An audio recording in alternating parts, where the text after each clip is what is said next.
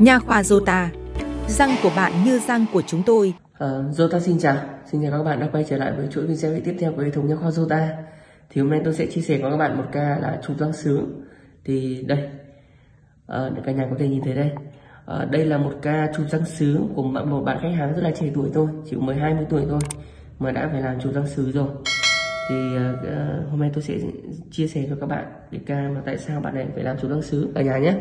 Cả nhà có thể nhìn rõ vào đây nhé. Thì cái răng này là cái răng mà chúng tôi sẽ làm tiến hành làm chụp răng sứ cho bạn trai này. Thì răng này của bạn ấy, ngày trước bạn đã hàn răng sâu rồi. Nhưng trong quá trình mà ăn uống ấy, thì cái răng sâu thì nó to và nó càng ngày nó càng vỡ lớn. Đó là gì lý do tại sao mà chúng ta phải hàn cái răng sâu này vào. Và khi mà chúng ta sâu to quá chúng ta không hàn được nữa thì chúng ta lại phải làm chụp răng sứ. Cho nên là qua video này tôi sẽ khuyến cáo các bạn là những cái răng nào sâu mà còn hàn được thì chúng ta nên đi hàn tránh để trường hợp mà phải làm cái răng sứ như bạn này. Được chưa thì lúc đấy sẽ rất là phí và quan trọng là mình uh, tốn kém về kinh tế. Đây cả nhà có thể nhìn thấy đây đây là cái chiếc răng sứ mà bạn đã lựa chọn. Đó.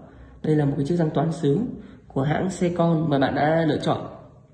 Thì bây giờ tôi sẽ tiến hành là lắp răng sứ vào và cho các bạn cùng xem các bạn nhé ờ, bây giờ tôi sẽ tiến hành là gắn cái chiếc răng sứ này vào thì cả nhà cùng theo dõi nhé rồi em hạ giúp anh nào rồi, thanh niên cúi gằm xuống giúp anh. Thì đây là quá trình mà chúng tôi sẽ tiến hành là cách ly nước bọt và sát khuẩn.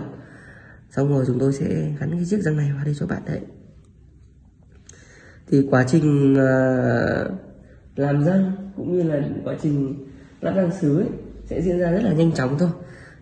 À, nếu mà hôm nay chúng ta làm thì tối ngày mai chúng ta đã có răng lắp rồi nên cả nhà không phải lo lắng về vấn đề là làm răng sứ có lâu hay không và đặc biệt là khi mà các bạn đến nha khoa Zota thì chúng tôi sẽ cam kết với các bạn một điều là hoàn tiền 100% nếu mà các bạn không hài lòng. Đặc biệt hơn nữa là chúng tôi cam kết với các bạn là thẻ bảo hành chính hãng 100%. Rồi em hạ giúp anh này. Buông một chút em trai nhé. Đó. Đây, đây là cái răng sau khi được được bôi keo vào đây. Cả nhà thấy nhìn thấy chưa? Bây giờ tôi sẽ gắn vào đây. Đây. Trước khi gắn đây, cả nhà nhìn nhé. Thấy chưa? Đây tôi gắn vào đây. Đấy đây cả nhà thấy nhìn vào đây đây là tôi đã gắn xong tí nữa tôi lấy hết sạch cái keo thừa đi là chúng ta hoàn thiện một cái chiếc răng đấy đây là trong quá trình mà chúng tôi đang chờ cho cái chất keo này đông cứng hẳn thì thông thường thì ờ, sẽ tầm khoảng là hai tiếng sau là chúng ta có thể ăn uống được bình thường các bạn nhé đây thì cả nhà có thể nhìn thấy đây. À, sau một thời gian chờ đợi thì cái keo này nó đã khô lại và bây giờ chúng tôi chỉ lấy ra lại bỏ cái keo này ra. Đó lấy hết đi sạch sẽ. Xong rồi chúng ta uh, sẽ chỉnh kênh cho khách hàng một chút rồi chúng ta cho khách hàng ra về. Thế là xong. Toàn bộ uh, quá trình uh, tiến hành uh, lắp răng cũng như là chỉnh kênh ở uh, nha khoa Zota thì cũng chỉ hết có 5 phút thôi nếu mà các bạn mà gặp tình trạng như này thì chúng ta hãy cứ ra nha khoa gần nhất.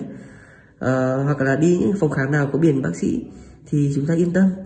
Hoặc nếu các bạn gần ở chuỗi hệ thống nha khoa Sota thì chúng ta có thể qua để bên uh, nha khoa Sota thăm khám. Đây cả nhà thấy nhìn thấy đây. Đây là một cái chiếc răng sau khi lắp. Hoàn toàn là giống hệt răng thật luôn. Và nếu mà tôi khẳng định là nếu mà tôi không nói thì các bạn cũng không biết được đâu là cái răng thật đâu là cái răng giả